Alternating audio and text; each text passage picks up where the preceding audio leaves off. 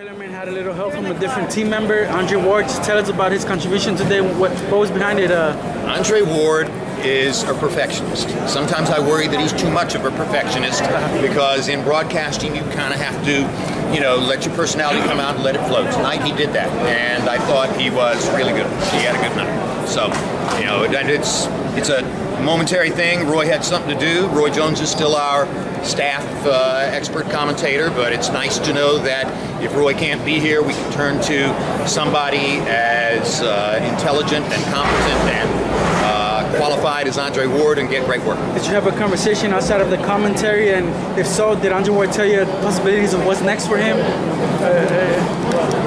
I Probably the most interesting thing he told me in conversations was that he can beat Anthony Joshua. Uh,